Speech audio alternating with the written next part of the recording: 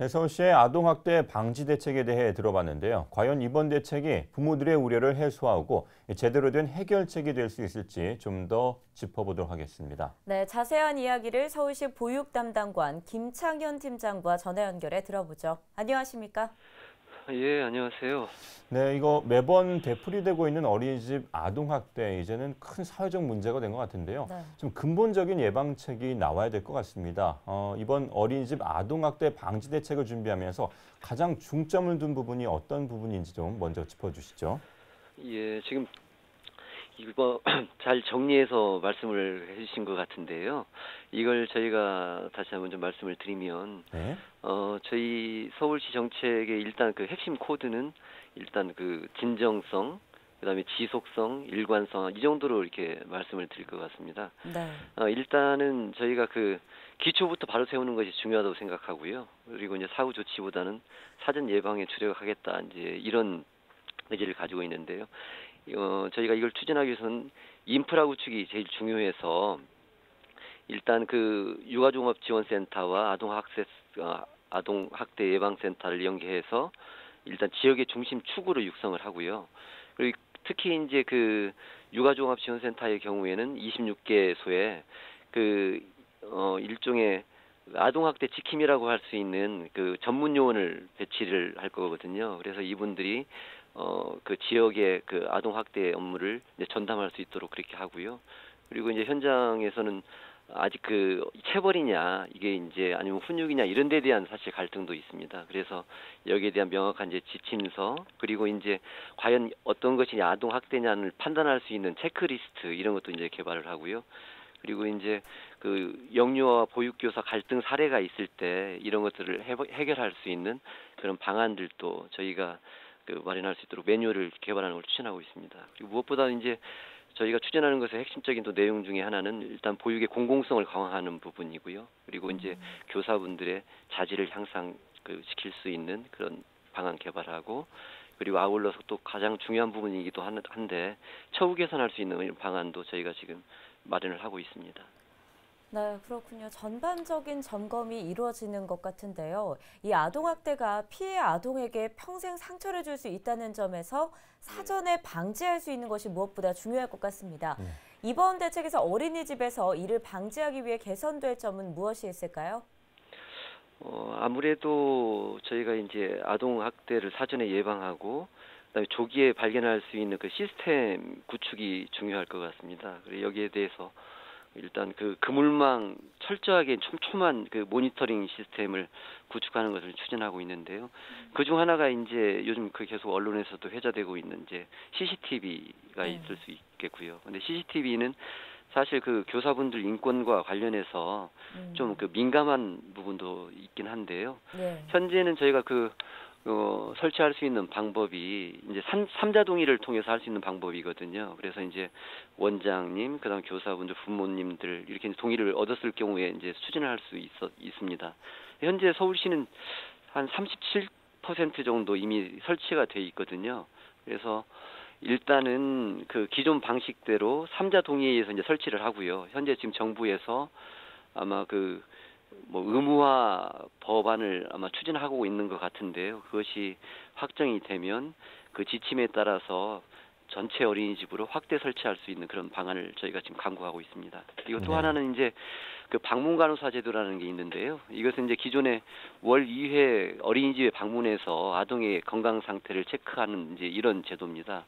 그런데 이제 그 방문 간호사 제도에 저희가 아동 학대 그 여부를 보통 이제 신체 검사하고 건강 관리할 때 그 징후 관찰하는 기능을 더해서 일종의 그 순회 보안관처럼 그 활용해서 의심 사례가 발견되면 어, 자치구나 서울시에 이제 유선 신고하고 그렇게 해서 저희가 조치할 수 있도록 하고요. 또 하나는 이제 부모님 등으로 이제 구성이 된 자치구별로 한 열분씩 구성을 해서 그 현장 방문 모니터링단을 구성해서 지속적으로 그 어린이집을 어, 다니시면서 직접 보, 보시고 확인할 수 있는 그런 이제 시스템을 저희 구축을 하려고 하고 있습니다.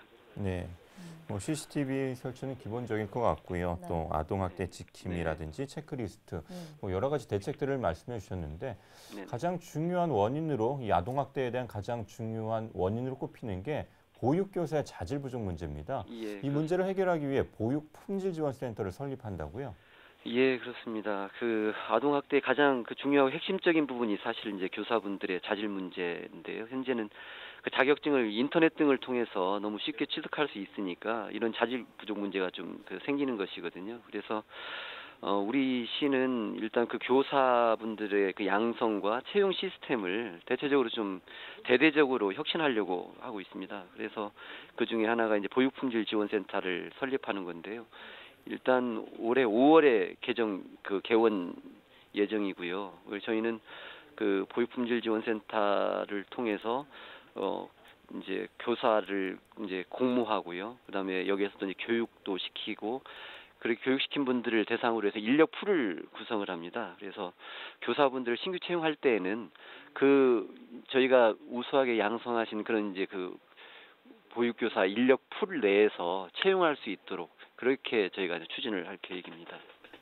네, 그렇군요. 이번 사고와 같이 이런 일부 폭력적인 교사들 때문에 사명감을 갖고 열심히 이 아이들을 돌보는 다른 훌륭한 보육교사에 대해서도 어, 어떤 의심의 눈초리가 가서 참 안타까운 상황인 것 같은데요. 네. 이런 보육품질 지원센터와 같은 교사 교육과 자질 검증 기관은 생겼지만 문제는 얼마나 실효성 있는 교육이 이루어지냐는 것입니다. 과거 이 보육교사 교육과정과는 어떤 차이가 있을까요?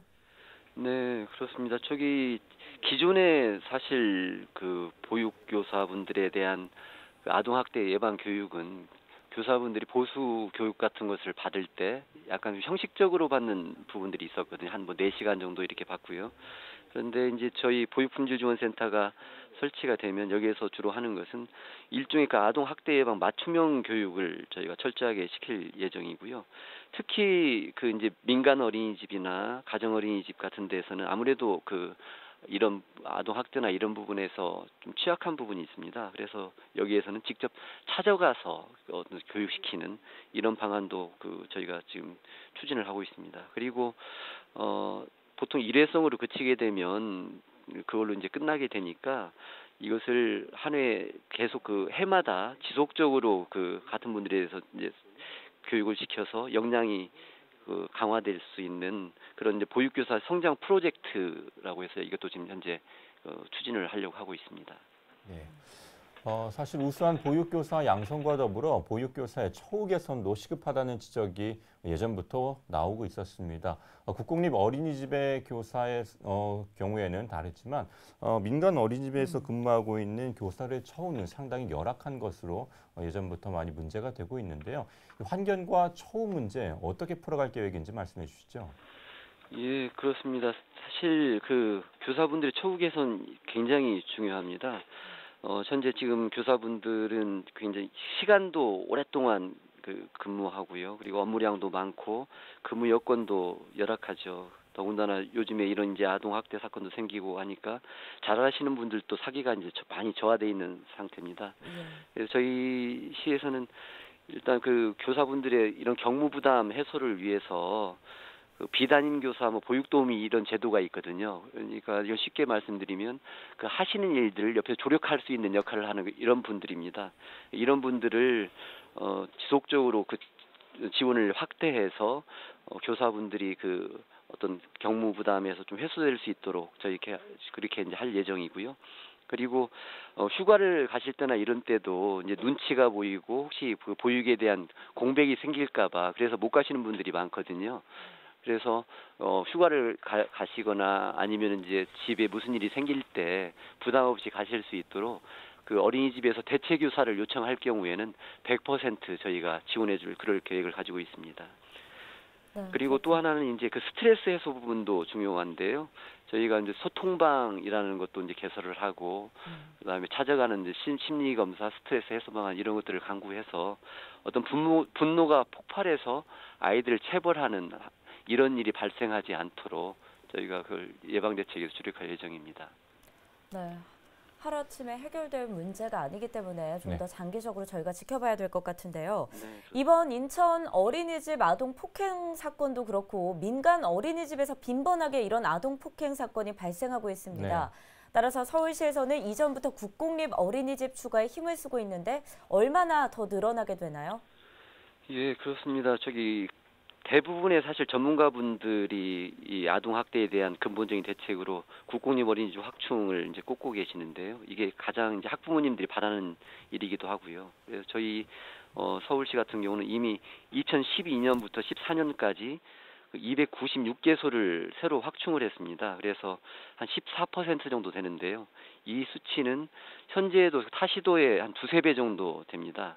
그런데 우리 시는 앞으로도 18년까지 한 1000개소 확충할 예정이거든요. 추가로요. 그런데 이제 이렇게 확충을 하게 되면 현재 총 그 서울 시내 국공립 어린이집 숫자가 934개소가 이제 저기가 서- 설치가 되는데요. 이게 1900그 34개소로 늘어나게 됩니다. 이렇게 되면 어 서울시 어린이집 그 국공립 어린이집에 어 현재 서울 전체 영유아 중에서 약 40% 이상이 국공립 어린이집에 그 다닐 수 있도록 이렇게 이제 되겠습니다.